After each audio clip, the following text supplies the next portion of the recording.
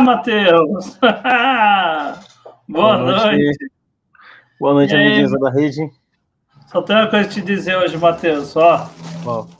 Ó, peraí, calma aí. Hoje, hoje eu sou o rei do camarote, Matheus. Ó. Ô, louco. Ô, Ó. louco. Olha, Matheus. Ô, louco. O rei do, é, o, é o rei do camarote, ó, Matheus. Ó. Ó. Olha.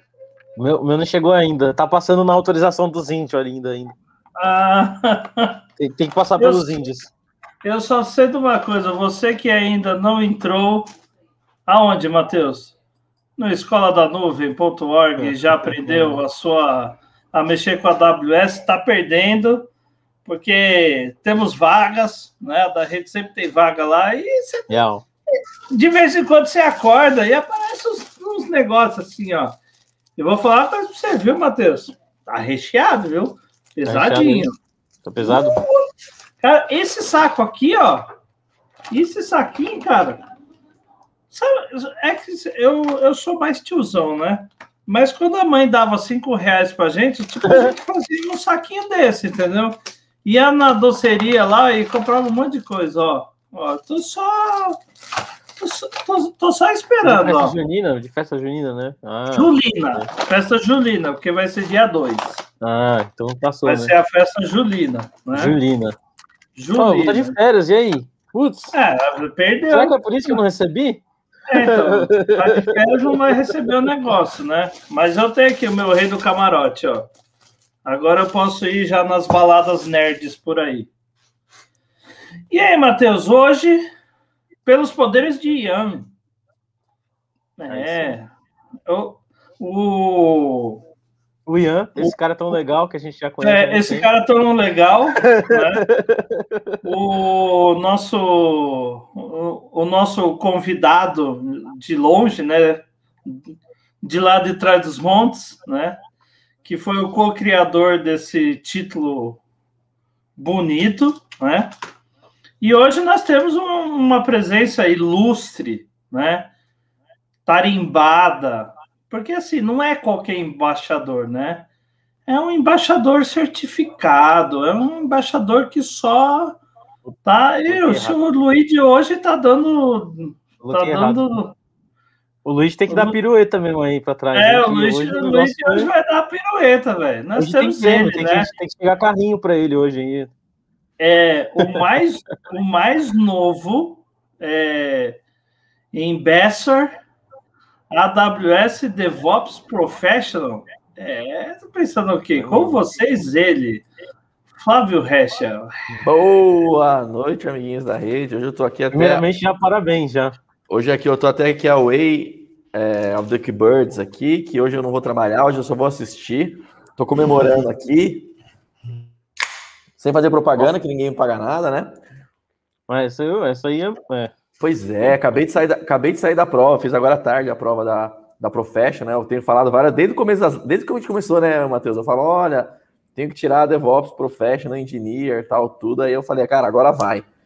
E aí marquei, marquei a prova e, cara, deu certo. Provinha encardida, hein, pessoal? Depois a gente Gabaritou? fazer uma. De... Não sei, né? O resultado não sai na hora. É, eu acho que não, eu achei que não ia passar, não, cara. Quando eu cliquei lá, apareceu o PES, eu já, ah, já, já, já, saí gritando já. Mas o, o... o, o mais importante é quantos custom effects apareceu na prova? Cara, tinha um monte de custom effects na prova. A minha tinha, cara. Tinha, tinha um monte.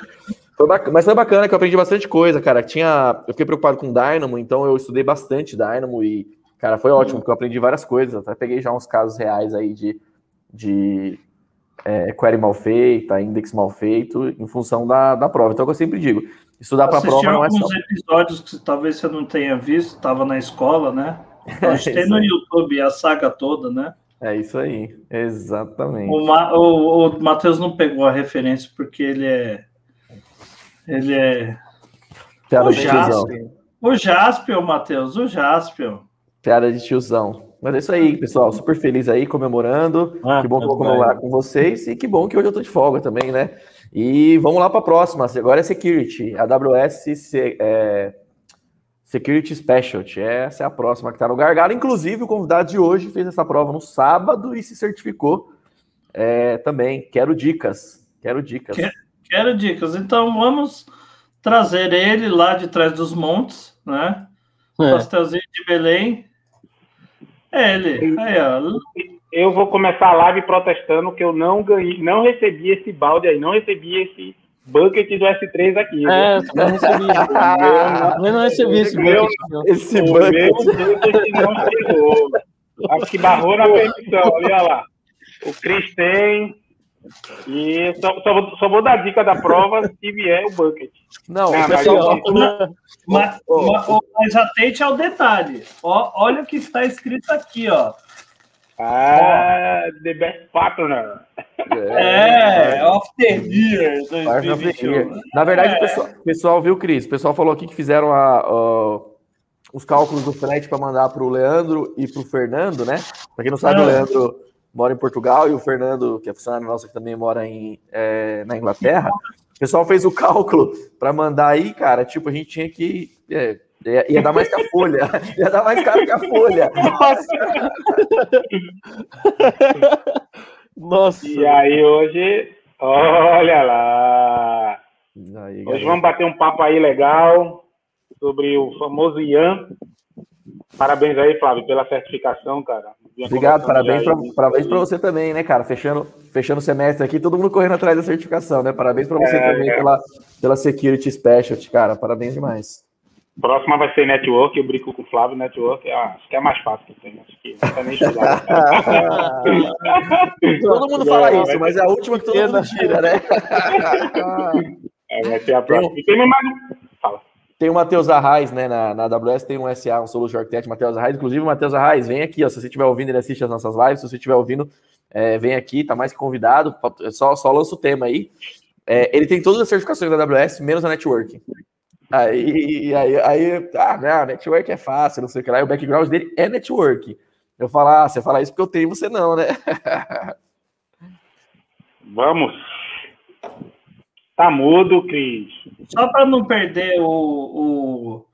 Ah, as piadas pronto, né? É uma live dúbia hoje, né? Porque ela é alegre e triste ao mesmo tempo, né? Por quê, Matheus? Porque nós temos o Eduardo Tristão aqui. Nossa, velho. Nossa. Meu Deus. Essa foi boa. Essa foi foda, essa foi, essa não, foi a praça nossa. E aí o Tristão, e aí o Tristão vira e fala assim: Nossa, velho, piada inédita pra mim, né? O cara tem, Inédita. Nunca ouvi essa na minha vida. Parabéns. Nossa, ele ouve desde o prezinho. Quantos anos você tem, Tristão? 22. Faz uns 23 que você ouve essa, né, cara? Já É, nasci é, escutando, lá. já. É o nosso AWS Playboy, né? Que vocês podem ver, né? Ar-condicionado inverter, Mac É. de última geração. É chique, velho. Exatamente. O, o fone do, o fone do Júnior do Sandy Júnior. É, então. O Aquele cara que tem Sennheiser, né? aquela. Sennheiser. Ô, ô, Leandro, compara a cortina do Matheus com a cortina do Os Tristão. caras já, já passaram no outfit Olha lá. do Tristão já. Eu tenho uma, eu tenho uma conta velha ali em cima, olha. Olha Não, mas você. Não, E mas você cortina tá em Portugal. Estão fazendo bullying, estão fazendo bullying com essa cortina. Essa cortina aqui, velho. Ela tá desde o começo da pandemia. Eu vou trocar essa cortina. Na verdade, eu vou trocar o quarto, né? Depois. Vocês vão. Calma aí, vocês vão ver o quarto novo depois. Então vamos lá. Sem delongas, já nos Quem tá no estendemos piloto bastante. hoje? Cristão, É o Leandro. Cristão, Tristão e Leandro, é isso? É. Tristão e Leandro. Vai de casal hoje.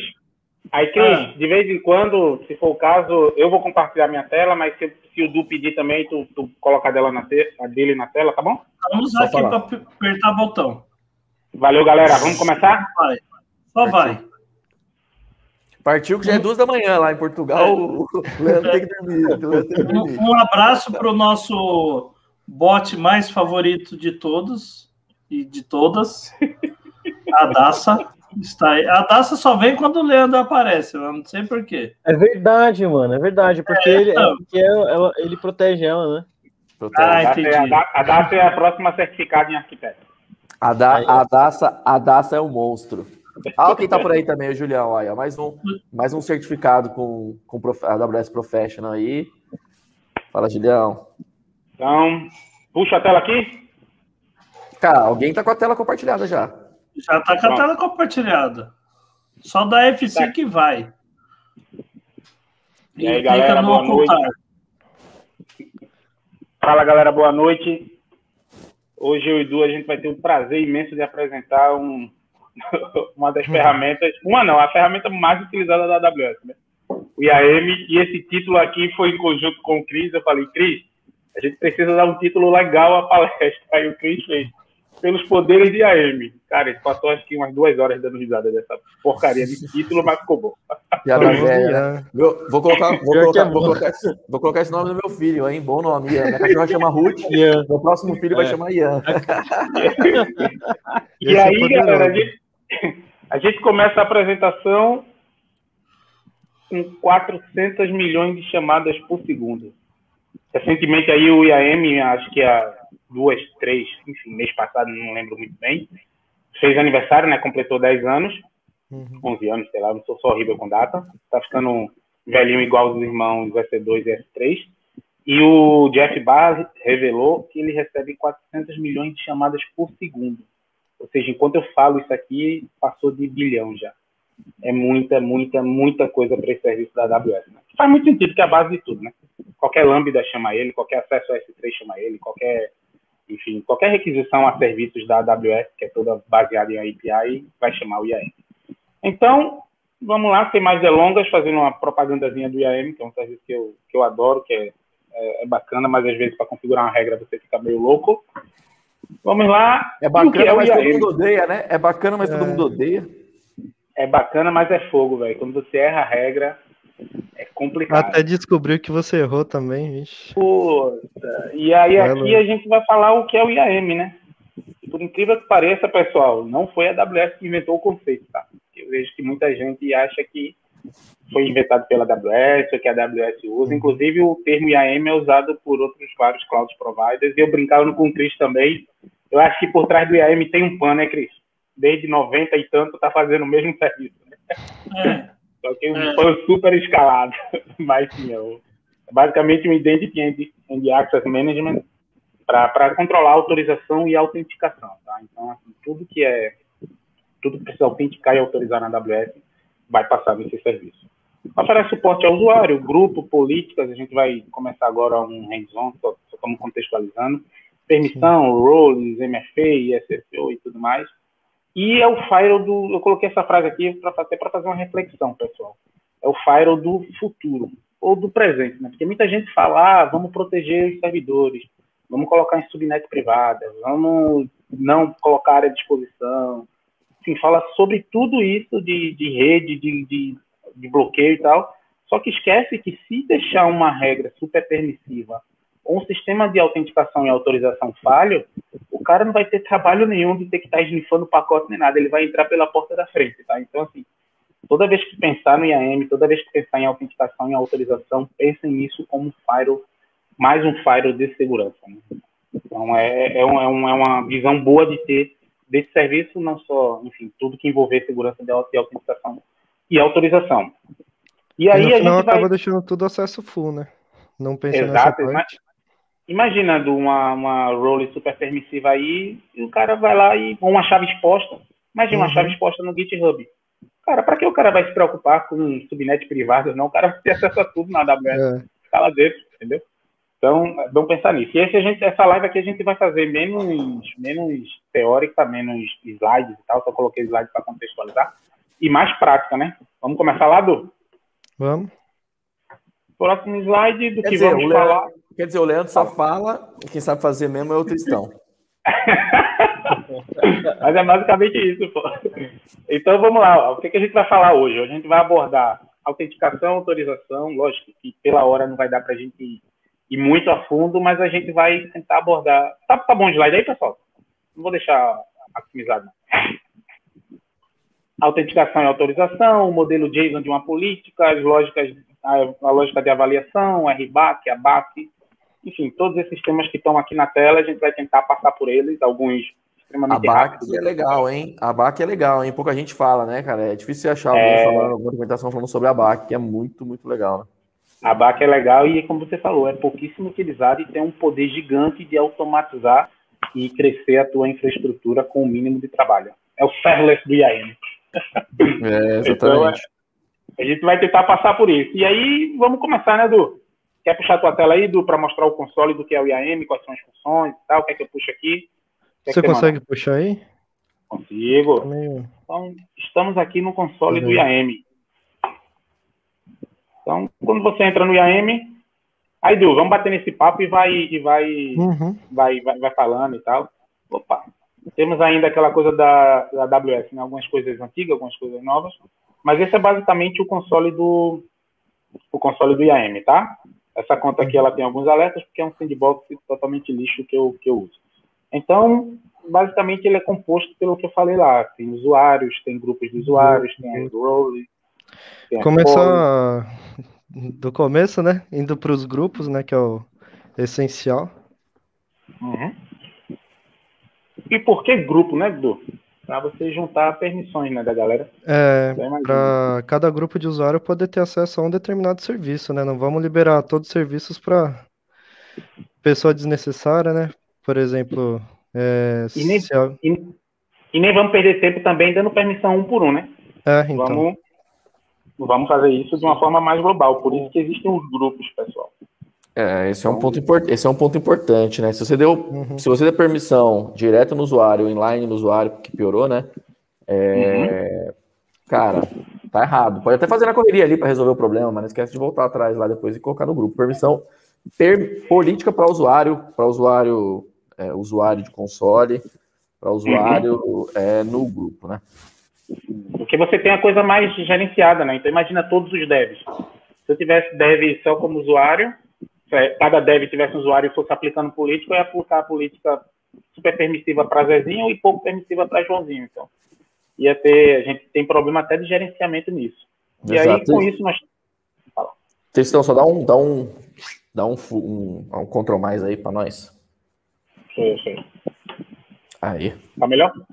Tá, tá ótimo.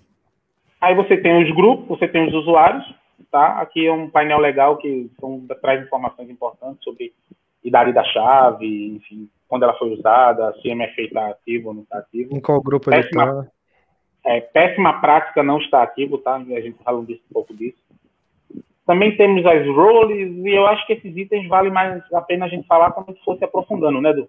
Uhum. Eu acho que não vai fazer muito, muito sentido. Agora, uma coisa muito legal que, que, pouco, que eu vejo pouca gente usando aqui é a, a questão do Credential Report. Então, assim, aqui é um, é um, formulário que você pode saber, um download aqui que você pode saber exatamente toda a atividade dos seus usuários na conta. Então, assim, você pode automatizar isso, inclusive via API, você pode fazer rotação de chave, você pode ver numa, num evento de comprometimento quando a chave foi usada. Então, é um relatório muito legal que tem da, da saúde das suas contas no IAM, tá? Então, assim, for administrador de uma conta, precisar de um relatório, cara, não hesite usar esse Credential Report, está incluído, não paga, não paga nada, então é, é, é, bem interessante. E aí, seguindo, a gente vai começar a entrar um pouquinho nesse, um pouquinho nesses temas e falar um pouquinho desse, de como, de como as coisas funcionam no IAM. E o próximo tópico que a gente fala aqui é sobre autenticação e autorização. Tem muita gente que não, assim, muita gente não entende o, o o, como é que funciona o IAM na AWS. E aí, Du, vamos é. falar? Aí, prime... é, é, exatamente. Aí no IAM, primeiro a gente geralmente aplica a política, né? Aí depois ele faz a análise dessa política para saber o que, que tem acesso, porque geralmente não a gente deixa acesso sem nada. Aí ele analisa a política e toma a decisão em cima dessa política analisada.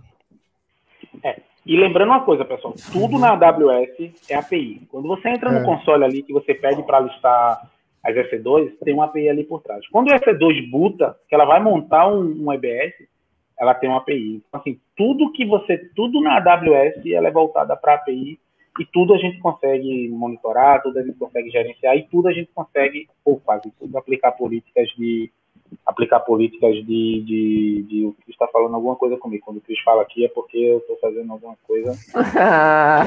Fazendo coisa errada. né? Ah, Não, então ele quer que eu dê um F5 na apresentação, só que eu estou mudando de tela, mas ok, eu vou dar.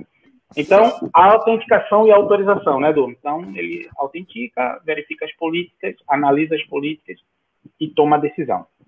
E aí, o próximo passo, que é algo que, tipo, é muito louco de entender no começo, mas é como o IAM faz a análise da política. Então, É simples assim. Explica aí, Tristão. Quero ver É. É, então assim, tudo é proibido. Então assim, a AWS ela trabalha com o conceito do deny implícito. Então, quando você cria um usuário, ele não tem permissão. Tudo que você faz na AWS, ele tem um deny implícito. Então, o a fluxo de análise do IAM, a gente vai voltar várias vezes aqui para poder entender lá na frente algumas regras que a gente aplica, ele tem, ele tem um deny implícito. Então, assim, tudo é proibido, exceto o que você libera. E o, IA o IAM, a evolução da política lá, ela fica caçando o deny. Então, o momento que ela achar um deny, ela vai, vai negar a sua regra seguindo esse fluxo. Então, por exemplo, a primeira coisa que ele faz é, ele aplica, ele verifica, é, ele tem o deny implícito, ele aplica as políticas permitidas lá que ele, que ele que, ele deu permissão, e ele procura se tem um explícito deny. Então, imagina, a gente está acessando um S3, ele vai, está acessando um S2, e tem uma política lá de S2, de S2, desculpa, e ele verifica um deny. Então, ele vai aplicar esse deny. Segundo passo, ele verifica se o membro está dentro de uma organization, um SCP, se tem um, um, control policy para aquela organization. Depois, ele vai verificar essa mesma análise com resource based, que a gente vai falar também de resource based e de identity based, que são coisas diferentes. Depois, ele vai, vai verificar no boundary se tem algum deny para aquilo.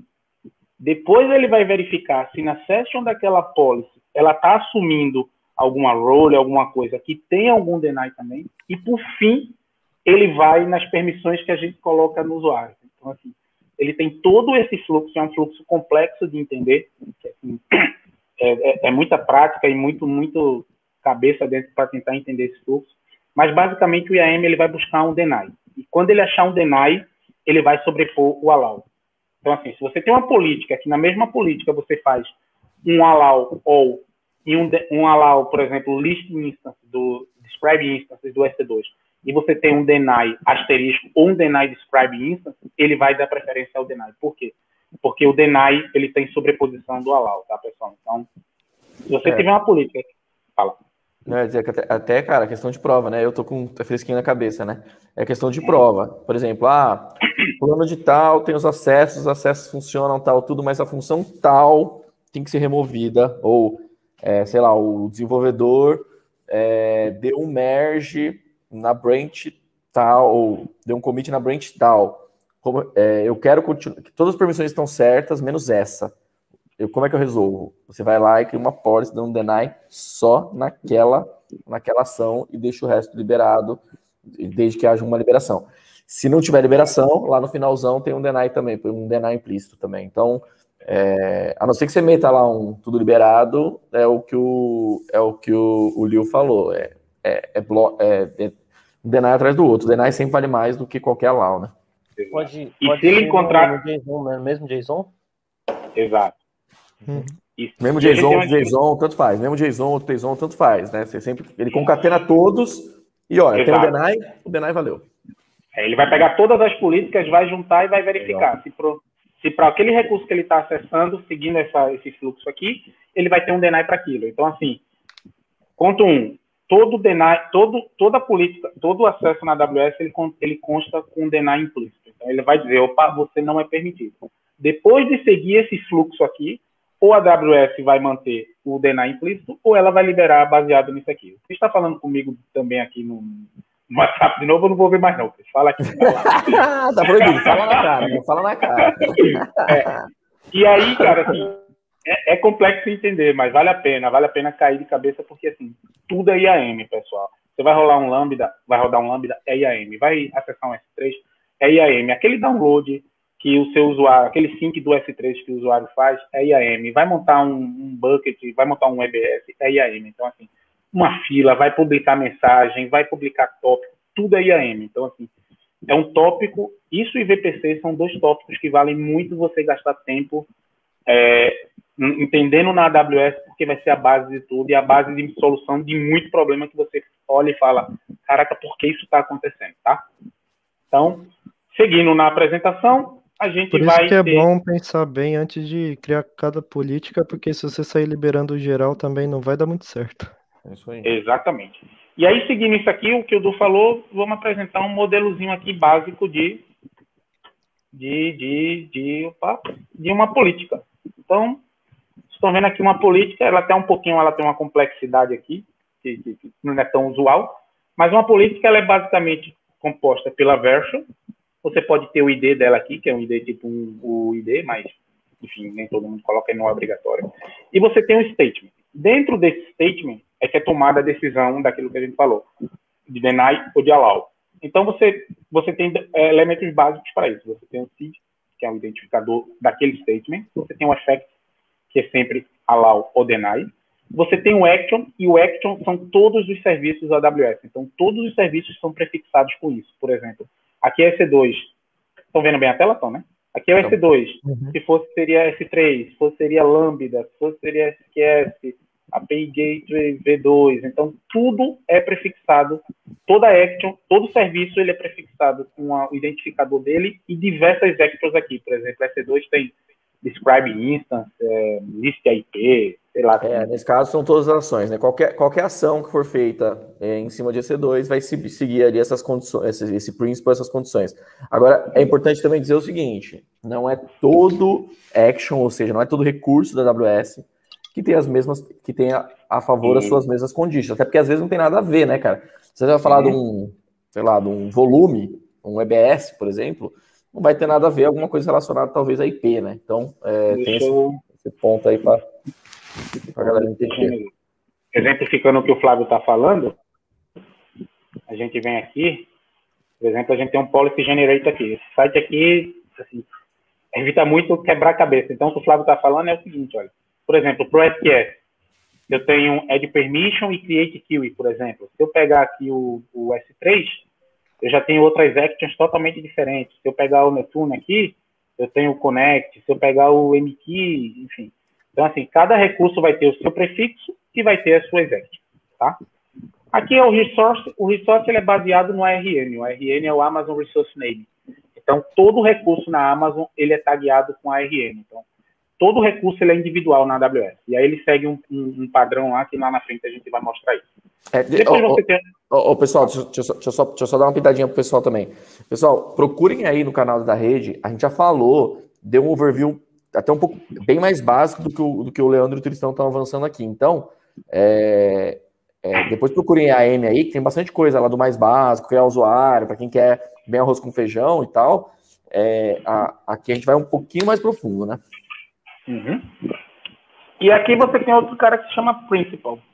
E o que são, o que são Principal? Principal são, eu também tenho, tenho um modelo desse na apresentação, mas Principal é basicamente tudo que compõe a estrutura do IAM enquanto, enquanto acesso, por exemplo. Eu sou um usuário, eu tenho um Principal, então aqui eu sou considerado um Principal. Um, um, um serviço que quer acessar outro, que quer assumir a regra de outro, ele é considerado um Principal um ADFS que está fazendo autenticação a partir de um AD, de um AD on-premise aqui, ele é um principal também. Então, o principal são basicamente os recursos que compõem o IAM. É um pouco complexo de explicar. As entidades, mais ou menos. Seriam as entidades, é, mais ou menos. Pronto, ali, é como se fosse. Exato, é como se fosse.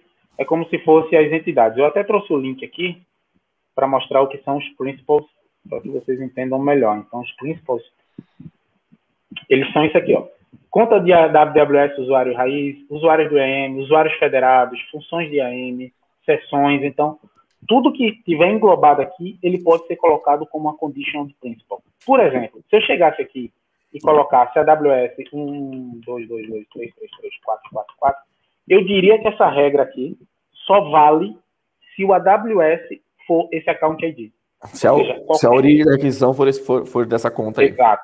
Se qualquer outro, se qualquer outra conta fizer a requisição nessa regra, ou eu tiver colocado o ID errado, qualquer coisa do tipo, essa regra vai falhar. Então, esse principal ele é muito utilizado, especialmente para quando você tem intercomunicação de serviços, por exemplo, um API Gateway sendo, sendo o trigger de um Lambda. Então, eles precisam se comunicar através de uma relação de confiança, e para isso eles usam Príncipe, assumir role, enfim, é, é, outro, é outro conceito que a gente vai abordar. E você tem um condition também. Então, dentro das regras, a gente pode colocar diversas conditions, pessoal. IP, IP address, IP de VPC, hora, tem tanta condition. Tag. Nem lembro. Tag, Tag é, é. Não. Tag, pode, pode, você pode desligar um servidor desde que a condition seja a tag, like, pau, né? Então, ou, por exemplo, interpretando essa regra aqui, a gente vai permitir tudo em EC2, em qualquer resource de EC2, ou seja, em qualquer instância, de qualquer príncipe, contanto que os IPs não sejam essas origens.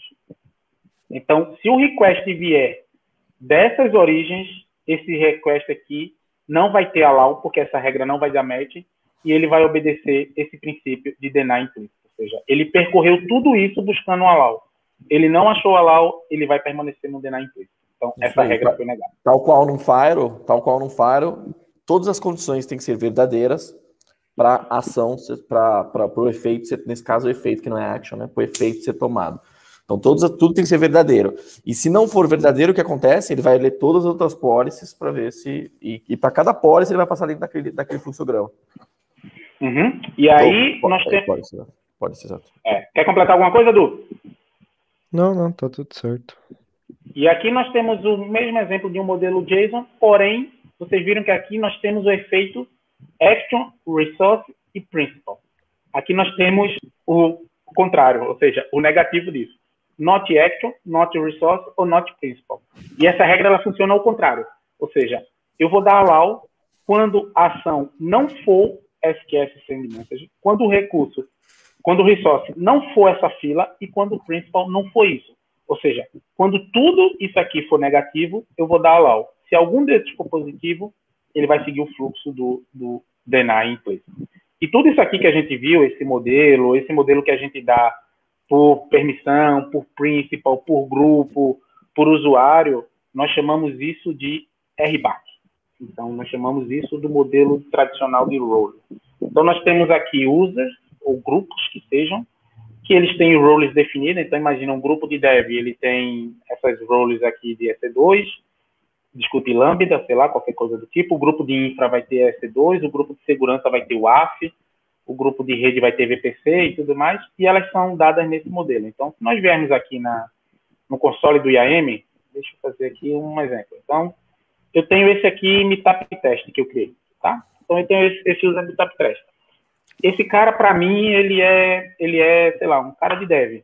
Então, eu vou adicionar ele numa role de dev, num, num, numa, numa política de dev. Então, assim, esse cara ele vai ter funções pertinentes a dev. E eu estou dando essas funções a ele, eu estou dizendo, olha, ou é ele ou o grupo dele, o que é que seja, vocês vão assumir essas funções. Então, se eu vier aqui dar um add permission, por exemplo, de uma política, de uma política, sei lá, Lambda. Lambda FUA. Então, eu estou dizendo o seguinte, grupo de dev, você tem direito a uma política de, de Lambda. Então, vocês vão atuar sobre essa política dentro de um usuário, dentro de um grupo. Eu não criei grupo aqui para Mateuzinho, Mateuzinho, pergunta. Mateuzinho pergunta. Mateuzinho está estudando para a prova, né? Para Architect Associate, Mateuzinho. Isso aí, isso aí. Pergunta. Se ele colocar esse AWS, esse AWS Lambda, AWS Lambda Full Access aí, esse usuário, ele aplicou a política no usuário, que não é uma boa prática, certo? É só, só um exemplo. Calma aí, cortou. Calma aí, cortou. Opa, ele aplicou aqui só no usuário para tá, fim de teste. Beleza. Cortou. Tá Fala de novo. Vocês estão me ouvindo, pessoal? Tô. Tá. É, acho que sou eu. Fala aí. Eu tenho certeza. O... Tá ouvindo agora? Tô, tô ouvindo. Ele aplicou essa, essa política nesse usuário, certo? O, o ideal era aplicar no grupo, mas ele aplicou no usuário para fim de teste. Aplicou essa política, AWS, Lambda, Full Access. Pergunta: esse usuário conseguirá fazer tudo que ele quiser no Lambda, no serviço Lambda? De- Depende da política, né? Ah, Essa política é, é, uma, é uma política gerenciada, né? Ela é AWS Lambda Full Access. Ela, ela libera tudo, tudo pro Lambda, é tudo que for fazer qualquer coisa no Lambda. Bom, ele vai ter full- acesso full pro, pro Lambda, mas, por exemplo, se o Lambda fizer acesso para outro recurso, não. Não. A pergunta é: esse usuário vai conseguir fazer qualquer coisa no Lambda? Sim ou não? Você tem duas perguntas, duas respostas. Sim ou não? ou não? Cara, eu acho que não, porque qualquer coisa é muita coisa, né? Foi evasivo, foi evasivo. Sim ou não, ou depende? Vai. Sim ou não, ou depende? Ah, depende. Depende do quê? Depende do quê? Depende, né? Porque, por exemplo, se, se o Lambda for fazer uma interação com outro recurso, Não, então ele não, vai não, conseguir. Não, não. A pergunta Não, não, ele é tá o falando- Lambda fazendo a interação com o recurso, é o usuário fazer uma interação com o serviço Lambda. Hum. Cara, eu Correto. acho que, eu acho, eu acho que Correto. sim, velho. O Ebert falou não. Respo é, é, respo é, é- Cara, resposta de prova, caiu na prova. Sim, não ou depende? Você responde o quê? Cara, na prova eu colocaria não, mas na minha cabeça eu tenho que sim.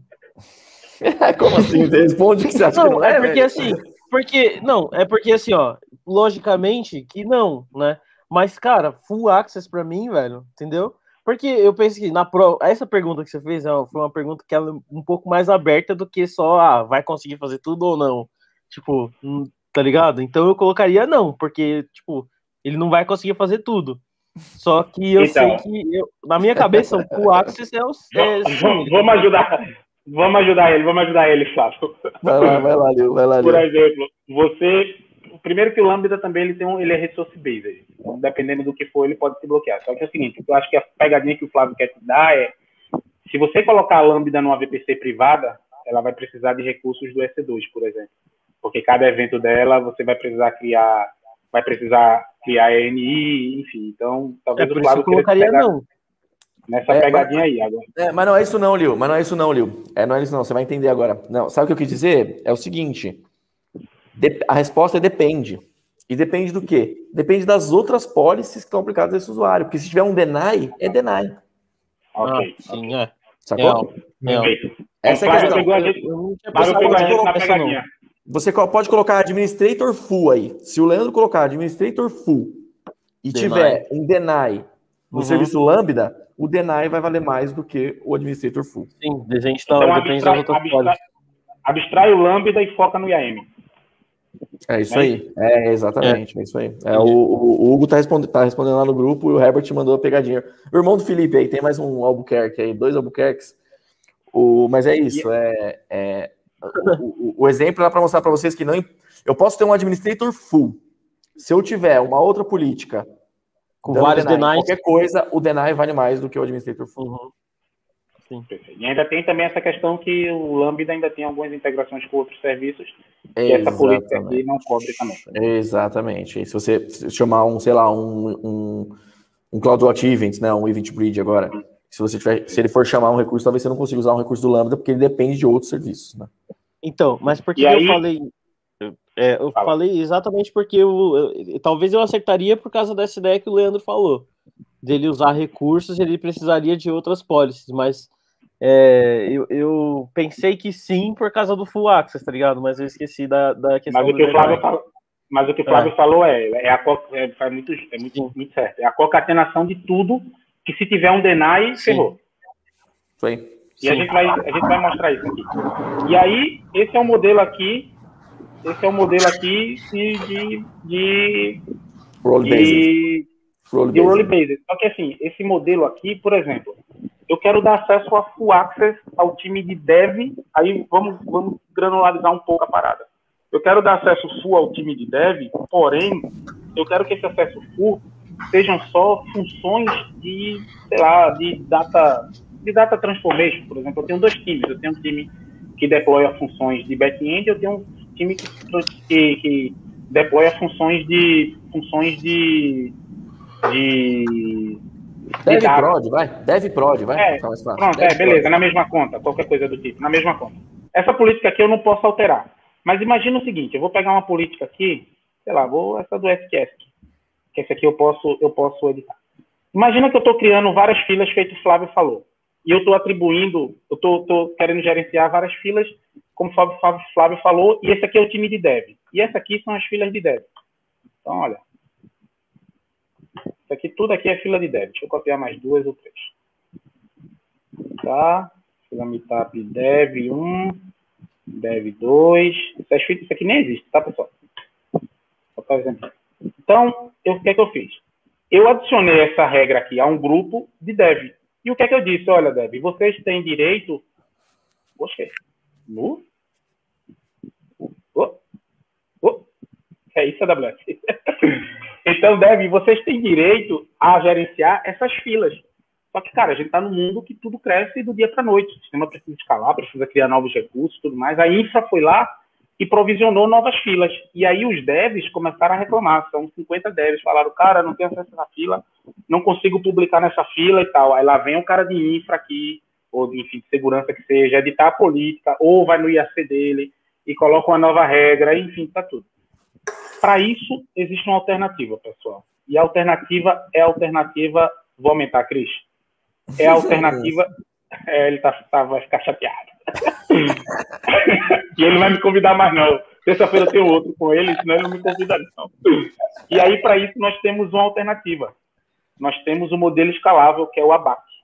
E aí, esse ABAC, ele muda, ele inverte um pouco o conceito do que a gente tem de atribuir roles para grupos. Agora, a gente vai começar a taguear essas, esses recursos da gente ABAC é o, é o, é o acrônimo de Attribute Based Access Control. É, que então, diferente do RBAC, que é definido em cima da política de trabalho do usuário, uhum. é o RBAC é em cima das tags de serviço, né?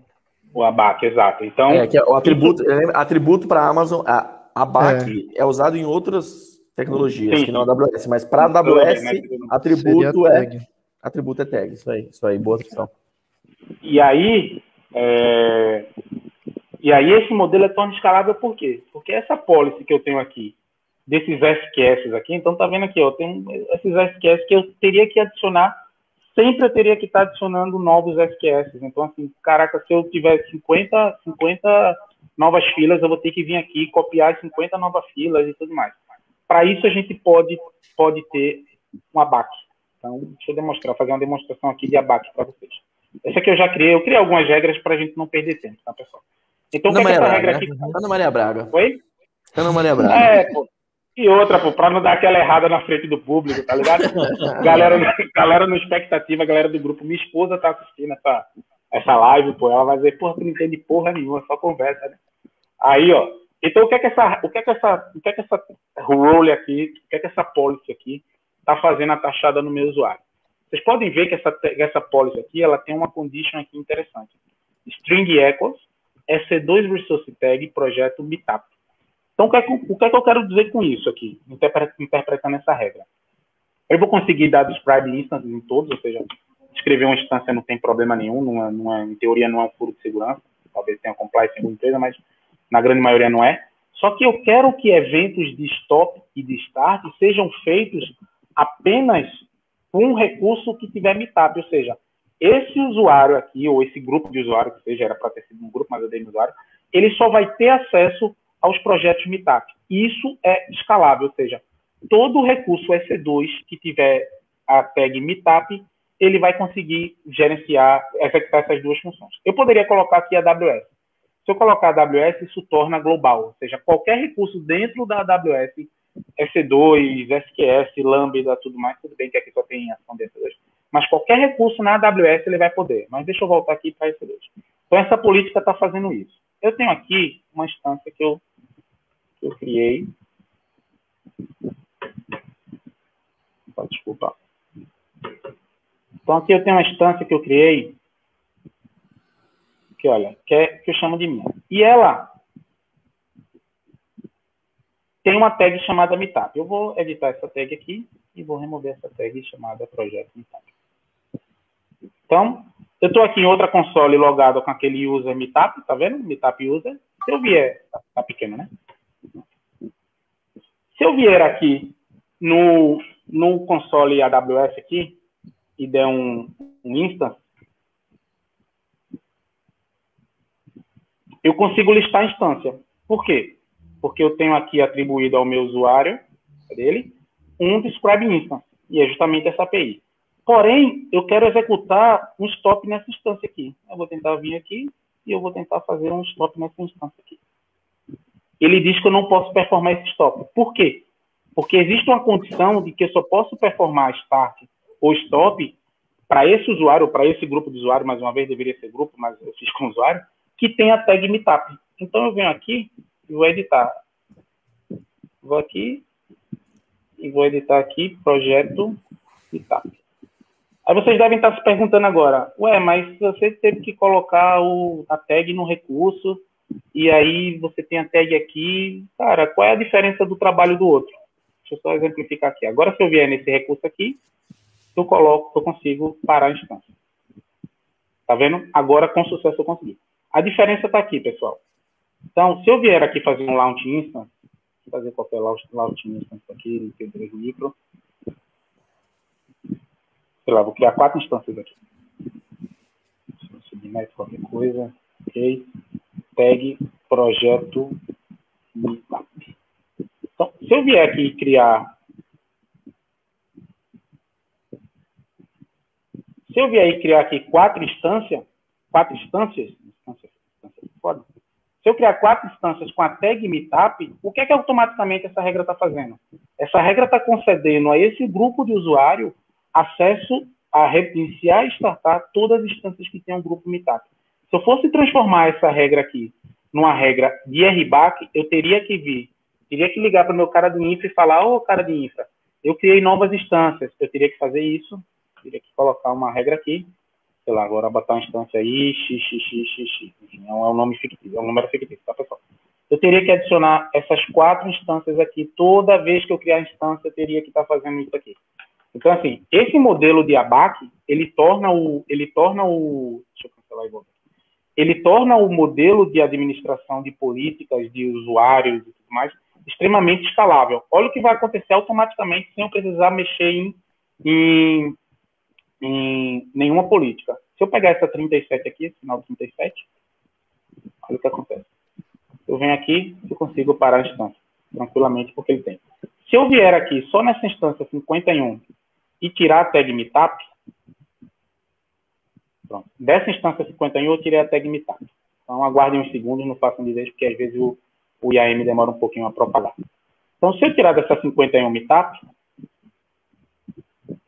eu já não consigo mais fazer. Então, assim, a gente tem um ambiente extremamente, é, a gente tem um gerenciamento de regras extremamente mais simples, porque eu posso replicar essa regra aqui, eu posso pegar essa regra e colocar projeto, eu posso colocar aqui, sei lá, centro de custo, eu posso colocar regras de denagem, regras de allow. Então, assim, o conceito da gente ter regras gerenciadas não o, o conceito de a gente ter usuários gerenciados e recursos não mais por RBAC, onde determina a função que ele tem, mas por ABAC, que é baseado em atributos, a gente consegue ter um modelo mais gerenciável, é, facilmente mais gerenciável, tá?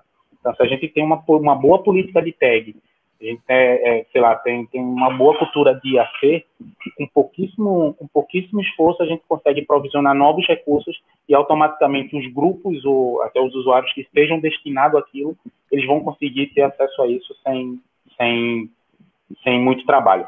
Quem quer, quer colocar é, porque, por exemplo, se você tiver diversos projetos dentro da sua conta, cada uhum. projeto tiver algum um tipo de recurso na, nessa conta AWS, dá para você dividir as pessoas de cada projeto para ter acesso em, em determinado recurso do seu projeto, em cima dessas Exatamente. tags. E, lembrando que tagueamento é uma boa prática independente de AM, tá, pessoal? Tag é Sim, até para pegar custos Custo, né, no Explorer. Exato, exato, exato. Então, assim, é, modelo... O, é, o, o, pessoal, só uma perguntinha aqui, pessoal, que, que, o, que o Herbert trouxe. Tudo que tiver meetup se encaixa na regra. É isso, né? Tudo que regra... dessa regra aqui, nessa regra aqui, tudo que tiver na EC2. É, é. Se eu fizesse isso aqui AWS, tudo que tiver AWS pega. É, esse enquadraria em todos os recursos. Exato. E aqui eu posso colocar nome. Lambda, eu posso colocar API Gateway, eu posso Exato. colocar qualquer coisa. Mas É. eu, se, eu, se eu fizer isso aqui, eu torno isso global. É, e o que é legal é que os recursos podem ser criados dinamicamente, como é o caso do, por, por exemplo, de um autoscaling. As- Os EC2 são criados dinamicamente. E aí, e aí o que eles têm em comum? Eles podem ter em comum uma tag, né? E aí você fala assim, ah, mas e se alguém for lá e, e- e mexer na tag? É simples. Essa tag você coloca um deny lá via role, via role based. Nessa Sim, tag ninguém pode tag. mexer, só o Exato. pessoal de segurança. Então é só ficar mexendo em tag e não precisa ficar mexendo em AM mais, né? E aí, se eu vier, eu vou deletar, então, isso aqui tá ok. Deixa eu deletar essas instâncias para eu não tornar DF mais rico. Então, esse é o modelo de abaque, pessoal. Se vocês têm múltiplos times, se você... Deixa eu usar a minha instância que eu. Se vocês têm múltiplos times, se vocês querem um gerenciamento um pouco mais automatizado, porque gerencia por projeto, e vocês têm muito bem isso dividido, e um pouco maduro, que o ABAC existe, exige um pouco de maturidade no processo, considerem usar isso ao invés de, de adicionar roles e ter todo aquele trabalho de provisionar novos recursos, alterar role, enfim, tudo isso mais, tá? Seguindo aqui no nosso, no, no- no que a gente É, por isso que é bom também aplicar as regras em cima de grupos de usuário, né? Para não ter que ficar Sim, aplicando exato. também isso aí em cima de cada usuário. Perfeito, Du, perfeito. E aqui a gente está usando só para o Meetup, mas a, a- a boa prática é sempre grupo de usuários. Opa, o Le- opa, o Cristão puxando a orelha do Lio, é isso? Beleza. Que é isso, cara? Tá gerando um conflito Não. aí, bicho? Não é? E aí a gente segue outro conceito aqui do que a gente vem falando. Então, assim, a gente vem. Deixa eu voltar aqui para a gente entender. Então, a gente já falou aqui um pouco de regra de avaliação, a gente falou de, de, de, de, de ABAC, de RBAC, e a gente tem outro conceito dentro do IAM que é muito importante e que eu trouxe antes para que a gente para que a gente traga mais contexto, mas não na política no final, que a gente chama de identity based. Então, o que é, que é o identity based? Porque existe outro tipo de, de, de política. O identity based é tudo o que você dá àquele conjunto de IAM, seja users, groups, roles ou credential de, de, de, de- que você tem lá cadastrado. Então, assim, isso é baseado no identidade, ou seja, cada, cada entidade dessa aqui, ela tem uma entidade, ela tem uma identidade, ou seja, o usuário, o usuário ele tem identidade, ele tem um login senha dele, ele tem aqui dele, ele tem qualquer coisa do tipo. O grupo, ele tem a identidade dele, que são os usuários pertinentes a ele. A role também tem a identidade dela, ou seja, uma role ela pode ser assumida por uma conta, ela pode ser assumida por outro serviço, enfim. E as credentials que são de, de, de terceiros ou, ou internos ali para acessar também. Então, assim, um dos conceitos de, do IAM que ele faz análise é o identity base, ou seja, eu, enquanto identidade, eu, enquanto Leandro, que faz parte do grupo X, que tem uma política Y, eu tenho acesso ao quê? Então, isso é o conceito de identity base, que é a base, é o básico. Eu chegar aqui no IAM, isso aqui eu estou fazendo o identity base, ou seja, eu estou chegando em Leandro, no, desculpa, eu estou chegando aqui no Meetup Test, estou dizendo, olha, Meetup Test, você é uma entidade, que você tem um ARN, um login, uma senha, coisa do tipo, e eu estou te dando permissões. Então, assim, eu estou dizendo que aquela identidade vai ter tais políticas atachadas e vai ter tais permissões.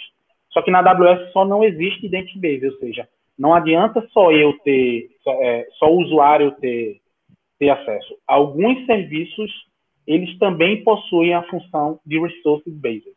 E um caso clássico que todo mundo conhece é o S3.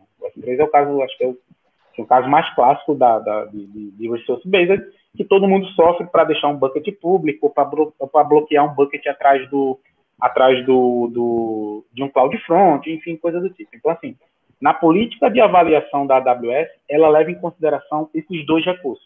Ela leva o recurso de resource based como terceiro step e ela leva o identity based no, no sexto step. E aqui a gente começa a complicar um pouquinho mais.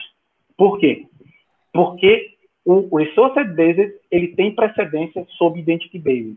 Ou seja, você tem um bucket que ele está aberto para um usuário, você vai no usuário e vê que ele não tem permissão para nada. Ele, ele tem zero permissão. Você fala, cara, o que é está acontecendo aqui? Quer falar outra palavra, mas não vou falar o nome da pessoa. O que é está acontecendo aqui? E você vê que o cara tem acesso. Então, assim, por que ele tem? Por que ele está conseguindo acesso a aquele bucket? Porque na lógica de avaliação do IAM, o Resource Based, quando tem um allow, ele encerra a avaliação. Ou seja, ele percorre isso aqui e ele vai dizer, opa, você requereu, você fez uma requisição no S3. Lembrando que o S3 ele tem, ele pode ser anônimo sem passar pelo fluxo de, de, do IAM, porque ele tem objetos públicos, enfim, que não passam, coisas do tipo. Mas o Resource Base ele tem precedência. Então, assim, eu vou mostrar um caso curioso para vocês agora. Eu vou chegar aqui, eu tenho um bucket aqui. Cadê? Cadê o bucket? Pronto. Eu criei um bucket aqui chamado bucket IS final. Eu saio criando bucket, galera. Enfim, não sei nem porquê. E nesse meu bucket, eu tenho uma política de meetup. Zoom, eu tenho uma zoom, política zoom, de, zoom, de... Alô? Ah, Zoom, desculpa, foi mal. Eu vi o... Ela, a gente tem o resource based. Por quê? Porque essa política ela está dentro do S3. Ela não está no usuário, ela está dentro do S3. Então, o que, é que eu faço? Eu venho aqui no meu usuário, eu vou tirar a Lambda Full Access. Opa, bora, minha filha. E eu vou tirar a Policy S3. Então, pronto. Se nós abrirmos essas outras duas regras, vocês veem que essa regra não interage nada com, com S3, enfim, eu não vou tirar. Então, deixa eu voltar aqui a minha.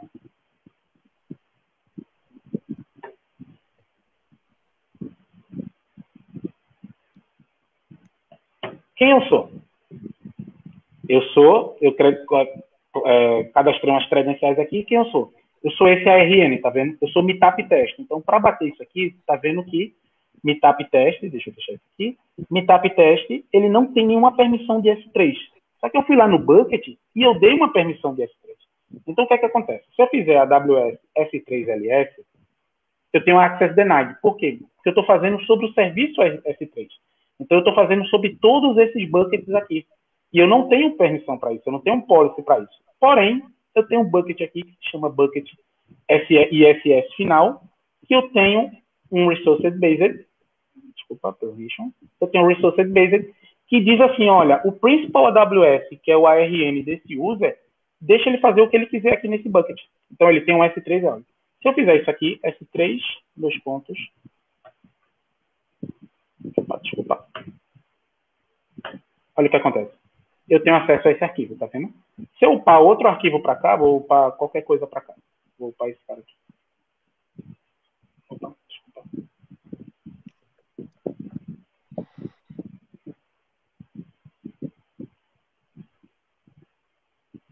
Então, se eu for lá no meu usuário, eu tenho um novo exemplo lá.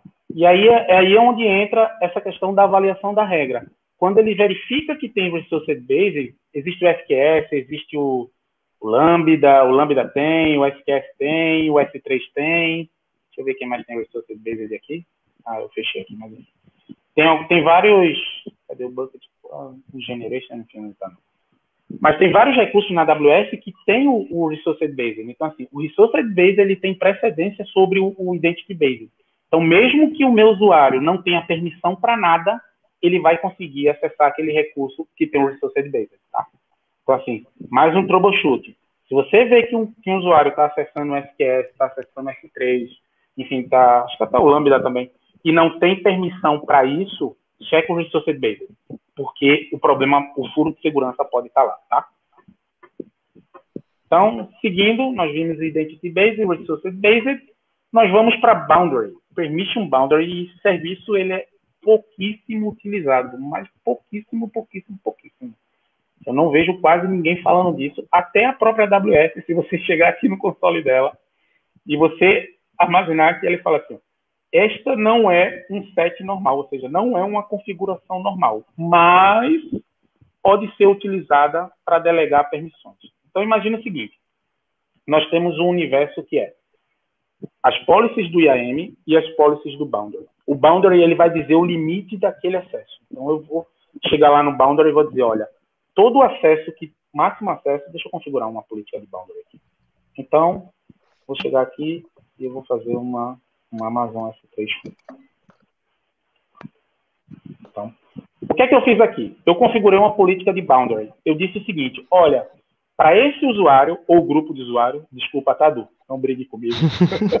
para esse usuário, esse grupo, ou esse grupo de usuários, eu tenho um boundary, ou seja, eu tenho uma fronteira, né, na tradução literal da palavra, eu tenho uma fronteira que diz o seguinte: independente que, independente da permissão que você tiver, o seu limite é S3 4 seja, se você tiver administrator, se você tiver Lambda, se você tiver API Gateway, você não vai conseguir fazer nada disso, porque você tem um boundary listado. Então, vamos fazer o seguinte aqui. Eu vou remover esse boundary. Eu vou adicionar uma permissão de administrador para aquele meu usuário. Agora esse usuário manda em tudo, tá? Esse usuário aqui, ele estava dando esses erros aqui, ele vai poder mandar na porra toda aqui. Tá vendo? Ele já viu, ele já consegue ver. Olha o código de conduta. é, liberou geral logo para um usuário ainda. Nossa. Aí, olha, ele tá, ele tá com, ele tá com o administrador. Então, assim, beleza, o usuário tá com o administrador, consegue fazer tudo. Só que eu quero agora, eu como administrador, eu vou lá e eu vou setar um boundary. Eu, como cara de segurança, eu vou dizer assim, olha, quem fizer parte desse grupo, eles não podem ter mais permissão, são os devs, por exemplo, do que SQS. Não, S3, sei lá, S3, 4. Então, o que, é que eu fiz aqui agora?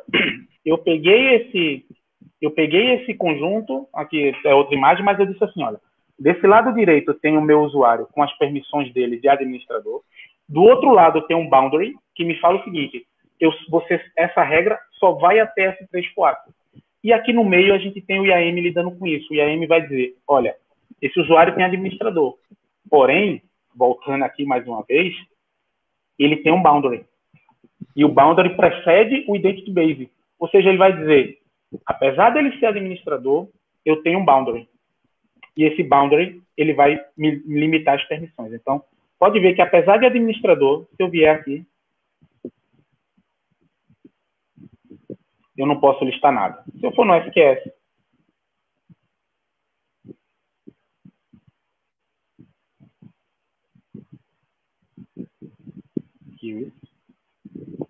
eu também não posso listar nada. Se eu vier aqui no S3,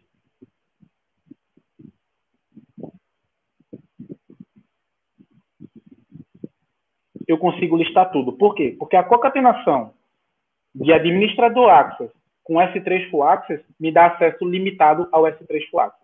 E nessa, ali, nessa avaliação, ele vai fazer esse, essa concatenação, ou seja, o boundary ele vai dizer, olha, eu só permito S3, eu estou negando todo o resto, eu só estou permitindo S3. E aí, quando ele fizer esta concatenação, a gente vai chegar a esse conjunto comum aqui, esse, essa interseção aqui, que vai dizer que ele só tem limite ao S3 é meio complexo, assim, eu, eu, vejo poucas pessoas usando, eu já vi umas duas ou três organizações usando isso, mas é algo que é muito, que é muito, que, que é usado, eu vejo mais como use case, de, por exemplo, time de segurança que permitem team leaders ou coisa do tipo dar permissão, mas ele quer limitar. Então ele quer, opa, eu vou te dar, permitir te dar permissão, pode dar o que quiser, mas tu vê, tu vai ter um boundary que vai te limitar, por exemplo, a sempre SQS ou sempre Lambda, enfim, coisa do tipo. É, é preciso um caso muito específico para usar isso. Tá? Geralmente você não vê em setups o, a, a, configuração de boundary não, mas deixa, não deixa de ter mais uma permissão aí, tá? Seguimos? Porque temos a hora também. E eu estou falando muito. O próximo passo é roles. E role é uma coisa muito, muito, muito, muito legal no IAM, cara. Quer, Edu, assumir? E a gente tá junto? Du? O Du caiu. Ih, o Du caiu. Tá oito horas, né? Oito horas da horário, né? É menor de idade. então, o role, é o seguinte: o role é o conjunto de, de, de, de, de políticas, assim como um resource based, um identity based, ou seja, eu cheguei aqui e eu fiz isso para um usuário. Então, um usuário que tem senha, que acessa e tudo mais, ele tem isso. Só que eu posso usar outro recurso, eu posso usar role. E o role é uma coisa que é muito bacana, porque a role você pode ser assumida por outro serviço, você pode ser assumida por outra conta, você pode permitir um monte de coisa. Um caso clássico, clássico, clássico, clássico é quando, por exemplo, um API Gateway quer chamar um Lambda. Ele vai chamar ali através de uma role. Essa role tem que ter um, uma relação de confiança para que ela seja executada e para que, para que assuma outro serviço. Outro caso muito clássico, por exemplo, é o IAM. O IAM aqui, a gente tem a configuração de roles. Então, se eu vier aqui na minha... Por favor, amigo.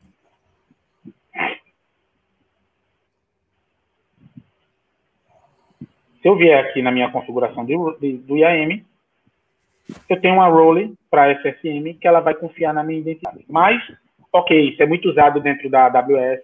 To, quase todos os serviços que dependem de role hoje já criam e eles te alertam, ah, vou criar uma nova, vou criar um novo, uma nova role de serviço lá, uma role service para você, ok. Geralmente tem gente que nem, nem lê e tipo clica e vai. Mas uma coisa muito utilizada para isso é o cross account. E o cross account para gerenciamento torna isso muito fácil. Por exemplo, na da rede a gente tem autenticação via a gente tem autenticação via DFS na, no, nossa, no nosso AD, que está. Tá, não sei onde é que está nosso AD, Flávio, mas está em algum lugar. Não cuida tá lá, na, cuida. Tá na AWS. tá na AWS. Então, eu tenho o nosso AD em algum lugar lá, acho que é o Laes que cuida, e nós todos autenticamos lá. Porém, nós precisamos acessar a conta de clientes, e a gente acessa a conta de, sei lá, centenas, milhares de clientes, graças a Deus, que vamos acessar, e mais ainda. Milhares, imagina, um... milhares acho que não, mas estamos chegando. um dia chega lá. então imagina o seguinte, a outra questão. Para cada, cada cliente desse, a gente tendo que criar usuário, tendo que espalhar senha por aí. Aí imagina, eu sair da empresa amanhã. Como é que controla o meu acesso ali no usuário, sendo que tem 100 usuários, é, 100 clientes, mil clientes, então assim, uma coisa muito legal é Role, e eu vou demonstrar para vocês essa, essa potencialidade aqui, essa, essa funcionalidade. Eu estou aqui na conta e, da... E para quem, quem, não sabe como funciona o Role, prestem muita atenção, pessoal. Quem está querendo certificar, cara, todas as provas da AWS, desde a Practitioner até a Network Specialty, cai o conceito de Role. Cai. E assim... Não cai, Role, é, Role, ela basicamente ela tem um conceito dela poder ser assumida. E aí eu vou mostrar aqui como é que funciona. Aqui eu estou na conta da rede de homologação, conta boa para deixar umas máquinas grandes ligadas, né? Sempre eu vou. Agora eu você vou... sai da sua, né, safado? Agora você sai da sua, né? Não, na minha eu vou assumir a da rede. Eu vou violar um pouquinho, um pouquinho de nada a nossa, a nossa, a nossa política de segurança aqui, que a gente não, não cria isso, mas eu vou criar uma role aqui dentro, tá? Eu vou criar uma role aqui, que eu vou chamar eu vou permitir o acesso à conta, então eu tenho a minha conta aqui. A conta do Leandro, acessar a conta de homologação da, da rede, é isso. Né? Exato. Então, é exatamente isso. então, assim, imagina isso num ambiente corporativo onde você é um, uma equipe de suporte que você precisa. A, a, é, é, o caso tradicional da, da rede, que a gente precisa acessar centenas de centenas de clientes. Então, imagina criar isso em cada cliente. É impossível, pessoal. Não façam isso. Usem role e assumam elas. Aqui você tem algumas, algumas funções. Require MFA, a gente já usa por padrão, e Require External ID. Essa External ID é o seguinte, imagina que nós, que nós somos uma consultoria. Ou não, o cliente. Imagina que o cliente contratou N consultorias. E ele tem uma role, ele tem roles ali que ele permite ser assumido. Como uma camada extra de segurança, o cliente configura um external ID, que significa o quê? Além do, do, dessa role assumir e confiar na minha, no meu no meu principal, isso aqui é meu principal, que é meu account ID aqui da AWS, ela também vai exigir um external ID. Não vou colocar porque é só demonstra, demonstração. Então, seguimos aqui. Eu vou atachar uma política e vou dizer, opa, eu quero que esse cara aqui seja um audit. Security audit. Então, esse security audit tem uma X política, quer que seja. Tem tags, coloca tag em tudo, Role Leandro. E tem um review. E aqui eu vou dar um nome a Role. E aí já já abro a política para a gente ver. Vou dar Role Leandro. Tá? Então, o que é que essa Role aqui está dizendo? Eu ia perguntar qual é o nome da Role. Esqueci. essa Role ela tem o seguinte: ela tem um, uma, um, um item a mais que a gente ainda não viu. Ela tem uma política normal, então aqui ela tem um, um identity based, que uma role é, um identity, é uma identidade e ela assume padrões de identity based. Então, nós temos aqui o Access Analyzer, App Mesh, CloudFront, enfim, qualquer regra que seja, administrador. Só que ela tem uma coisa interessante agora. Ela tem uma relação de confiança. E essa relação de confiança é o X desse modelo de roles, que nós chamamos de assume token. Ele chama assume token é SAML, quando é federado, Web Identity, quando é Web Identity, mas ela tem uma relação de confiança que é, permite assumir a role. Então, como é que funciona uma assumir role? Eu criei na conta pai, na conta que vai ser assumida, ou seja, na conta da empresa X. Então, é, a empresa, a da rede está contratando o Leandro Tristão e Cris para ser consultor. Então, a da rede ela vai criar uma role de confiança com essas três entidades. Ela vai dizer aqui os principals, que podem assumir a mesma role ou podem criar diferentes. Não tem nenhuma condição. E ela permite a única coisa que é o seguinte, uma action de assume role. Deixa eu ver se eu consigo um assume role aqui, um gráficozinho legal da AWS. Assume role AWS. Deixa eu ver se eu pego uma imagem bacana aqui que eu não teria. Tem alguma legal aqui? Pronto, então, aqui, ó. O que é que funciona? Você tem aqui a, a account XXX, que no caso vai ser a minha. Você tem a account YYY, que vai ser a da rede. E você tem o usuário dessa conta assumindo uma role. Então, o que é que esse usuário vai fazer? Ele vai chegar nessa conta, a partir dessa conta 11, ele vai chamar uma role na conta 999. Essa conta 999, ela tem que ter esta relação de confiança, dizendo, olha, a conta 11 pode me assumir essa role. Então, depois de chegar lá, ele validar que é um que é um principal da AWS, que é uma conta externa e que ela tem permissão de, de executar o assumir role, ele vai devolver credenciais temporárias, então ele vai devolver um token temporário com data de expiração, ele vai devolver um, uma credential com data de expiração e coisa do tipo, e ele vai dizer, olha aí a user, assume isso, por isso que nós chamamos de, por isso que a AWS chama isso de assume role, assume essa role que essa role tem N políticas de segurança que tu vai fazer o que tu quiser. Então, se eu vier aqui, update trusted, deixa eu colocar aqui administrador. Gente... A polícia chegou, a polícia chegou. tá aumentando o custo aí, a polícia chegou. Faz faz é, tira o cabo, tira o cabo. Fecha, é que faz? Tira o HD do, do computador.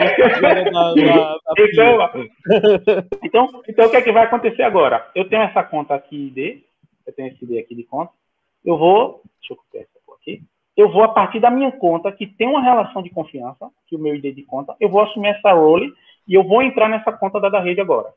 Ah, eu estou no meu usuário root aqui, porque eu não consigo. Lembrem-se, usuário root, apesar de ser o primeiro passo da AWS, ele não faz parte do IAM. Ele faz e não faz. Você não consegue limitar acessos do root, senão por policies do, da organization. Mas, enfim, isso é outro papo que a gente não vai ter nem tempo hoje. Eu estou aqui no meu usuário Meetup, que faz parte da mesma conta, e eu vou fazer um switch role aqui. Deixa eu só garantir que esse usuário está com permissão. Ele também não vai conseguir acessar o switch role. Pronto. Então, o que é que eu vou fazer? Eu vou colocar a conta, eu vou chamar role Leandro, role Leandro, e eu vou dar um nome qualquer, conta da rede. É, independente da permissão que esse usuário tiver na sua conta, ele vai ter a permissão que você adicionou naquela role da conta da, de homologação da, da rede, né? Isso aí uhum. na conta de destino, vamos dizer assim. É, né? na conta de destino. Opa, não tá funcionando aqui? Opa, opa, opa. Você colocou a da, da rede aí? Coloquei a da, da rede aqui, galera. Tá pequenininho meu, não tá dando pra ver nada. É. Queria dizer nada, mas acho que o Wesley startou a role lá. ah, bateu, bateu no Cloud Events lá, acordou, eu, tava, tava dormindo lá, ele acordou. Qual que é o nome da role? Tá certo, cara. Inscrição, assume role. Não, se tivesse certo, estaria funcionando. É. Adoro falar a isso. tá certo. Caralho, velho. Ô, ô, ô, tá código de conduta. Você quebrou o código de conduta duas vezes hoje, velho. Vai ser punido. Porra, velho. O que que tá acontecendo aqui? Ah, bicho. Olha o que aconteceu. O meu ah, boundary me, me, me bloqueou. Olha. Ele assumiria, ele não daria permissão, hein? Não, ele assumiria, ele não daria permissão. É. É, vamos lá, deixa Olha eu ver. aí, aqui, amigo. Oh, quando o meu boundary, quando meu boundary, quando meu boundary estava negando, eu também uso assumir role. A minha conta origem vai ter que assumir assumir role, só que eu tinha um boundary me limitando ao S3. Era só para mostrar o exemplo que você estava fazendo. Não é que você foi proposital, galera. Era para então, ver quem ia então- ser, né? Quem ia achar, né? O problema, né? Não, é porque a AWS hoje lançou o Bug Hunters. A gente tá tentando já pegar um. Não, só funciona então, se o Wesley liberar. Não, é que, é, então, o Wesley liberou lá, a gente falou aqui, ele foi lá e liberou. Então o que é que aconteceu? Vocês viram que eu não estava conseguindo assumir a role, por quê? A minha conta origem executou um comando chamando assume role, passando a conta de destino. A conta de destino, lá, o IAM, checou e fez, opa, eu tenho uma sumi role aqui da conta do, do, do principal tal. Eu posso permitir? Posso, porque ele está com relação de confiança. Então, a partir desse momento, da minha conta Leandro, logado como Meetup Test da conta Léo Damascena, eu tenho 100% de acesso a, a, aos serviços da, da rede homologação. Então, assim, usem essa prática. Se eu chegar aqui, por exemplo, criar aquela instância 5x12 large que eu já criei e levei uma chamada. Já é, ao vivo, né? Ao vivo já, né? Já ao vivão. Deixei disco Não faz lá, isso que a Roll vai sumir daí. Deixei, acho que eu deixei é. 200 GB de disco lá durante uns 10 dias, levei uma chamada. Aí, é, então assim, se vocês têm esse, se vocês são uma consultoria, se vocês estão prestando serviço para clientes, ou até implantando cliente que vai contratar consultorias, não, não saiam criando usuário, não saiam dando usuário. O gerenciamento é péssimo, é horrível o gerenciamento. Se você sai dando usuário, você perde controle, porque você cria um usuário para o fulano X, ou você cria um usuário, todo mundo na empresa vai usar, e aí quando todo mundo na empresa usa, você não consegue rastrear. Ah, deletou EC2, tá bom, eu quero o nome de quem deletou EC2. Ah, EC2. Ou não, ah, fulano que não assinou o NDA está acessando isso. Desse jeito não, desse jeito você garante que a partir da conta do cliente, enfim, tá, tá, tá confia também que o, que, que o fornecedor tem uma política boa lá, está acessando isso através de role, tá? Se eu chegar aqui e tirar a relação de confiança aqui, e colocar a conta 7, por exemplo, ah, ele não vai deixar porque não é uma conta válida, teria que ter outra conta. Então, ele perderia essa relação de confiança. Se eu quiser voltar aqui a minha, a minha, a minha account, back to meetup então, e é até uma forma simples de você não estar tá deslogando e logando da AWS. Imagina, você vai ter que deslogar, logar e coisa do tipo. Então, com a Sumi Role você tem uma função muito, muito, muito bacana para isso. Lembrando que a role que vai ser assumida é criada na conta de destino, referenciando a conta de origem, tá bom? Então, Leandro acessa da rede e da rede permite que Leandro acesse da rede, ok? Então, essa é a relação que tem aí. E assim a gente consegue conviver com diversas contas, tal, tudo sem, é, né, com, com menos esforço, né? Ah. Lembrando, e lembrando que uma conta, um, a role também pode servir de um serviço para o outro, né? Então eu tenho lá um, o clássico, né? O EC2 falando com S3. Então você não precisa de, de credencial, né? E lembrando ainda mais, esse tracking ele vai ser reconhecido pelo CloudTrail, não como aquela role. Ele vai dizer que quem, que quem executou foi Leandro da conta, foi Meetup da conta Leandro, porque acho que não deu tempo de registrar aqui ainda, e ele vai identificar esse usuário. Então, assim, você tem todo o flow de segurança aí garantido, você tem auditoria, você tem tudo isso sem expor. É porque acho que não deu tempo de, de, de atualizar ainda não aqui. Ele leva um, tempozinho para mostrar. Então, ele, você tem todo esse, esse, esse aparato de segurança e facilidade no gerenciamento, tá? Mas o Switch próxima... Account também aparece, né? Switch Account também Oi? aparece lá no Trails, né? É, aparece é, e aparece. aparece não, eu, eu, fiz, eu fiz list de EC2, ele apareceria aqui, mas é porque nos últimos 30 minutos. Porque tem um tempinho, né, pra ele aparecer. É, ele demora um pouquinho, sim. É, ele demora um pouquinho. É, um, é, é, o que, é o que na prova a Amazon chama de é, Near Real Time. 15 minutos. Near Real Time. Near Real Time, Near Real Time, é verdade. Próximo ao tempo final. Ao tempo real. Então, esse é o conceito de role. Pensou que você vai delegar acesso a alguém vai delegar acesso a serviço, vai delegar acesso a terceiros, vai delegar acesso a outros principals da AWS, pense em role. Não saia fornecendo usuário. Serviço, SSO, a interação com o Active Director, ele vai assumir uma role, ou seja, ele ganha poderes de usar o role. Exato. Você só tem um. Você basicamente hoje se trabalha no modelo de usuário e senha. Empresas menores que não têm um AD ainda, uma conta experimental, mas empresas maiores, stacks que são grandes empresas que têm workloads em produção, todo mundo hoje está usando SSO, está usando o role a partir de uma, de uma federação, serviço federado, qualquer coisa do tipo, tá? E eu passei, enfim, já misturei os dois, passei o cross, o cross, a cross account. Então, aqui a gente tem o seguinte, nós temos a Trusted Account, que é, que é, que é a parent, que é a conta pai, e nós temos as instâncias que estão acessando ela. Então, foi exatamente aquilo que eu demonstrei. Da rede permite que Leandro acesse da rede e Leandro estabeleceu uma relação de confiança com.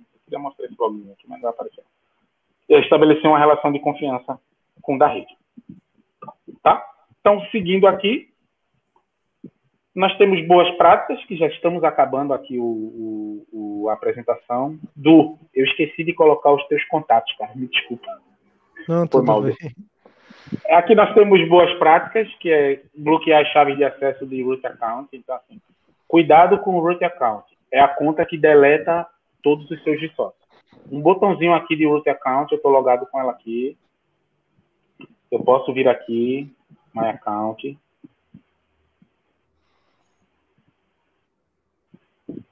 E tacar fogo em tudo. É. Eu posso Ela tacar fogo na conta. close né? account, ó. Se eu marcar tudo isso aqui, ó, understand, I understand e tal, eu posso fechar a conta e ele vai tacar fogo na conta, tá? Literalmente, cuidado fecha a conta, É. garçom. Passa a regra. Aham. Então, cuidado com o root account. Não usem root account para logar em conta de produção e tudo mais. Se você cria uma conta sandbox, teste, lixo que você vai ter ali, beleza, cara. Não tem nada muito Root importante. account é igual ao Internet Explorer, velho. Só serve para É. instalar o Chrome. Pessoal, É, é, você usa root account, você vai lá, compra MFA ou pega um celularzinho que você não vai usar, configura o MFA nessa, na, na sua root account, né, garante que o e-mail está chegando para um grupo de e-mail, preferencialmente, que é o que mais de uma pessoa vai receber, guarda o root account na gaveta. Só usa de novo se o Chrome der pau. Perfeito. E aí você cria usuários individuais no IAM, tá? para você ter a rastreabilidade, rastreabilidade de identificar. Então, assim, nunca compartilhe chaves. Ah, mas eu estou usando chaves. Se identificar essa, se identificar esse comportamento na empresa, cara, chame para reunião, chame a galera de segurança, chame tudo. Não compartilhe usuários. Você perde rastreabilidade, tá? Você perde a identificação. Você é, não personifica mais quem, quem executou cada ato. Utiliza grupos, conceder privilégio mínimo foi algo que a gente não falou, a frase célebre da AWS, the least privilege. Ou seja, sempre concedo o privilégio mínimo. Se eu vou, se eu sou um cara de dev, que eu só preciso acessar Lambda, para que eu vou dar esse 3 SQS e Dynamo? Não tem para que isso. E se eu vou acessar só os de devs, você utiliza o princípio do ABAC. Se você ainda não está preparado para ABAC, utilize um princípio do RBAC, porém limitando os de sócio. Então, assim, não dê um lambda asterisco, porque eu vou ter acesso à conta de prod, vou ter acesso à função de prod, eu vou lá e deleto, se eu tiver um lambda asterisco. Então, assim, sempre use o least privilege. É um, é um conceito também, Flávio fala muito aí de prova também, vai cair em qualquer prova, pessoal. Eles vão te dar uma política para tu analisar e fala assim, eu quero que o usuário acesse lambda de Dynamo. O que é está errado nessa política? Porque sempre vá pelo privilégio mínimo. É, conceito, conceito básico de uso de, de, permissão com política, valide suas políticas, use políticas gerenciadas pelo, pelo cliente. Tem uma coisa que eu não demonstrei, mas é possível chegar aqui no usuário e colocar um, um inline policy. Então, eu posso adicionar uma inline policy. Essa policy ela é tão específica que ela só vai valer para o usuário. Só que, assim, isso é uma isso é uma péssima prática ou uma prática não usual. Porém, Flávio, também é questão de prova. Porque os caras falam assim, existe um, um, auditor que vai pontualmente à empresa, ele precisa de uma credencial temporária e uma regra que não corra risco de se misturar com nenhuma outra. Uma policy que não corra risco de se misturar com nenhuma outra. Aí é o caso do inline policy. É isso aí. Fora isso, só, ela não, não existe a policy propriamente dita, ela só existe enquanto ela está naquele usuário. Né? Ela existe no contexto do usuário, ela não existe global. E existe outra coisa também que eu não mencionei, é, existem policies que são gerenciadas pela AWS e tem policies que são gerenciadas pela, pelo, pelo cliente. Se você vier aqui, olha, Customer Manager, AWS Manager, AWS Job Function. Essas Customer Manager você altera, as AWS Manager você não altera, tá? Então, é isso. É, use níveis de acesso para revisar a permissão, sempre configure MFA, tá? Sempre configure MFA. Configure política de senha forte, também é outra, é outra, é outra configuração que a gente tem na, na no, no, dashboard do, do IAM. É, o MFA é, é de extrema importância, nunca se esqueçam. É, nunca Tanto o alguém... account quanto para os IAM users, né? É, porque se alguém pegar sua não. senha, pelo menos não tem acesso. É, ele vai ter, ele vai pedir um segundo fator de autenticação. Usar funções para aplicações que. Fala, fala. Deixa eu só colocar um outro ponto bastante importante, pessoal. Tome muito cuidado com phishing. Muito cuidado com phishing. É uhum. comuníssimo você receber e-mail é, fake. Olhe muito bem o e-mail. Isso é uma dica genérica para todas as coisas. A gente já falou um monte de lives aqui sobre segurança da informação. Mas é muito comum você receber, porque aí o cara pega até o seu MFA. porque se, se, se a operação for rápida, então no, o seu MFL dura durante acho que 60 segundos ou 30 segundos. Então, 30. É, então é, é muito comum você receber e-mails parecidos com a, a, console da Amazon, falando que ah, você tem um problema, clica aqui para ir na console. Quando você clica aqui, você não está na console da AWS, você está na console do awz.com, entendeu? E aí, cara, aí, aí lascou. Se o MFA está habilitado, você diminui um bilhão de vezes a chance de você ter a conta tomada. Se essa conta for tomada, o menor problema que você vai ter é o seu billing vir 100 mil dólares. É. É, usar funções para aplicações na EC2, enfim, é uma boa prática você não colocar chaves na EC2. Eu coloquei chaves aqui para demonstrar aquela questão, mas assim, não, não precisa de chaves, você pode adicionar uma role na EC2 e ela vai fazer o, o papel que precisa. É, usar roles para delegar permissões. Não compartilhe chave de acesso nunca, pessoal. Suas chaves de uhum. acesso são únicas. Desconfiou que um usuário perdeu a chave de acesso, a primeira coisa que você deve chegar aqui é isso chega no usuário Meetup Test, você vem aqui na Security Credentials e você invalida aquilo. Eu vou tornar inativa. Então, você tornou inativa aquela chave que esse usuário está usando aqui. Ó. Essa chave que o usuário está usando aqui, ó, ele ainda vai ter um tempinho, ó, pronto. Ó, a AWS Access Key não existe mais, tá vendo? Então, sempre que desconfiar de alguma atitude suspeita, enfim, invalida aquela chave do usuário. A chave vazou. Primeira coisa que você faz é invalidar. Depois você baixa o usuário, o Credential Report, usa CloudTrail, enfim, faz, faz tudo o que precisar, tá? Remova a credencial desnecessária que você não conhece, é, enfim, usuário. Use condições de políticas para segurança extra, aquelas condições que eu coloquei lá, por exemplo. Você pode colocar uma condição, imagina, mesmo nessa política inline do auditor aí, que eu citei, você pode colocar uma condição de, de, de, data. Então, ela só vai valer do dia 1 de julho ao dia 5 de julho. Passou daquilo, tu não precisa nem se preocupar. Pode deixar aquele usuário lá, assim, uma boa prática, mas larga aquele usuário que ele não vai ter mais acesso, tá? E monitore sempre sua atividade na AWS com, através do CloudTrail. CloudTrail é algo que vai te mostrar muita coisa sobre o que está acontecendo na sua, na sua estrutura AWS, enfim, o que é que está se tem alguém fazendo chamada de API errada, aí você pode juntar isso com Security Hub, com, com, com Config, aí tem diversas estratégias que valem outros 10 meetups. E é isso, pessoal. Obrigado. Faltou o contato do Du, desculpa, Du, mas eu coloco aqui para liberar a apresentação. É isso. Foi bom falar com vocês. Se tiver dúvidas, questões, vou parar de compartilhar minha linda tela. E foi isso. Vocês gostaram, não gostaram? Sensacional, aí, mais, bem louco, bem louco. Mais, mais que muito bom. Tristão começando hoje aí também, né? Quebrando gelo, né, ah. né, Tristão? Foi ótimo. É, foi da hora. Pessoal, é isso aí. Mais que estouramos o tempo, quer dizer, oficialmente o Luiz deveria estar entrando na banheira agora. Né? Agora. Né? E aí, mas é. fica tranquilo, Leandro. avisando a Carol lá que a responsabilidade é sua. Depois qualquer coisa vai pintar uma, vai pintar uma reclamação. Eu vou colocar isso no. Eu vou colocar isso no, no, no, no sei lá, no GitHub aí, depois acesse o meu Twitter, mas acesse o meu GitHub que vai estar lá, pessoal, tá aí na apresentação. Boa, é isso aí, sensacional. É Cris, valeu demais, Mateuzinho, recados. Ó, acertei na mira. Sim, eu tenho que, eu tenho que ser rápido hoje, que eu já tenho aula agora. Mas, ó, recadinhos. Protocolo SIC, então, é, ative o sininho, inscreva-se, compartilhe e deixe curtir aqui embaixo, ó. Entra no grupo do Telegram, é, manda uma dúvida aí. Ficou com alguma dúvida de hoje? Alguma coisa? Ah, vou assistir de novo. Também você pode perguntar pro Leandro. O Leandro tá lá no nosso grupo do Telegram, você tá perdendo.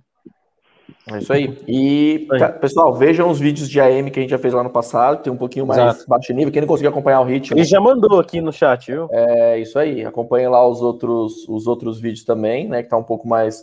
Tem um pouco menos de profundidade. A gente tem lá o comecinho criando a conta, depois o básico do IAM e é, tal. É live número 55. Boa, Cris. Sensacional. É isso aí. Então, o protocolo SIC, pessoal, clique no sininho, compartilhem, é, se inscrevam e curtam é, o vídeo se gostou. Cara, tem uma discrepância grande aí, muita gente, no, muita gente online, poucos likes, hein? Ajudem a gente aí. Ajudem a gente aí e ajudem o Google a descobrir mais sobre, sobre o perfil de vocês para depois poder fazer propaganda de, de outras coisas para vocês que não tem a ver com, a, tem a ver com o nosso canal. Se você tá gosta desses assuntos, veja a live 204 que foi muito bacana, foi na terça-feira. Ó. Isso aí. Isso aí, galera. Valeu, galera.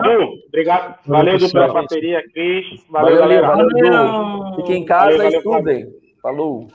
Tchau.